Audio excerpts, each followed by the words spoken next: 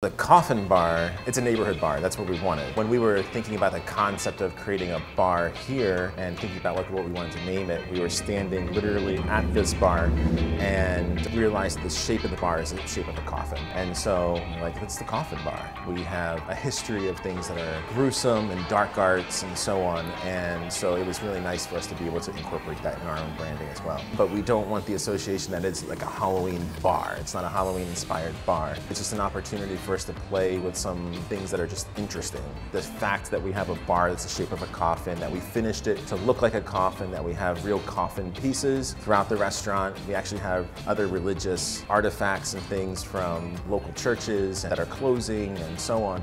It's just kind of a nice, eccentric way of doing something different.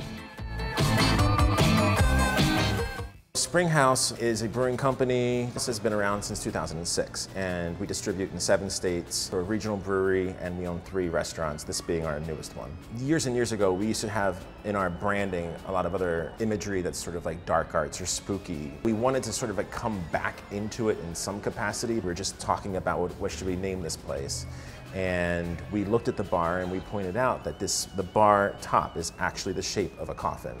And so we just thought it was a perfect opportunity to come, kind of come back into our branding and name it the coffin bar. And you can see that we finished it with like the rails and put the brass around it and everything else to make it look like a coffin. There's nothing like this. The ambiance itself we have all the different elements in place, and so if you're looking for somewhere that's going to be interesting to dine in, I think this is it.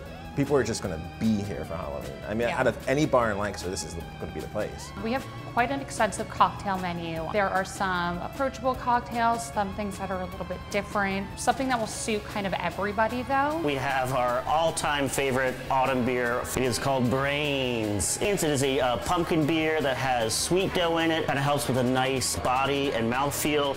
There's a little bit of autumn spices in there and obviously some pumpkin. Food-wise, the menu approachable, but a little bit elevated from your standard comfort bar food. The coffin bar would need to have a black pasta dish with a devil sauce on top of it, uh, the devil's lettuce for a salad. Blood oranges, sliced beets, pomegranate seeds, local goat cheese crumbles, and then it's a hydroponic butterleaf blend that's tossed in a mint julep vinaigrette. Wanted to use local purveyors as much as possible and hyper seasonal ingredients where we can. Obviously it's targeted to a little bit more of a date night spot. We truly try to be the community brewery.